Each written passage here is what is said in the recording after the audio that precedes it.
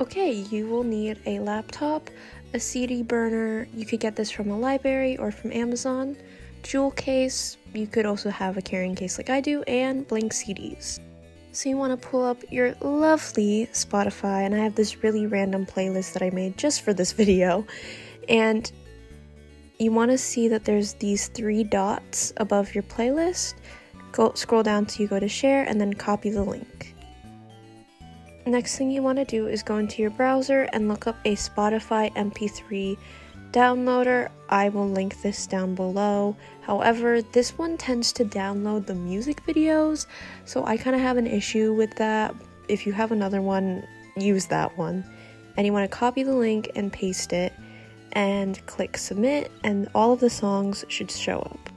Download the zip file and it should save to your computer, and now you have to open it and this one compresses it so you have to extract all of the files from the folder before you can use it in your Windows player. Grab your CD burner, plug it in. Take whatever media player your laptop uses. I don't know if it's the same for Apple, but for Windows you have Windows Media Player and drag the playlist on there and it should be on there.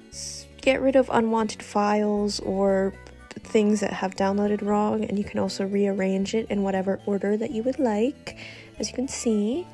Now right next to the play button there should be a burn button and you want to drag the list that you have saved on to the burn list.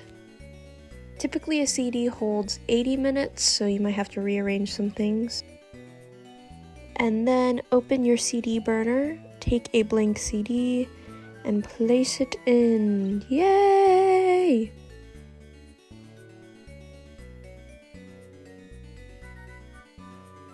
You should be able to burn it now. There's a button there. It takes a couple of minutes.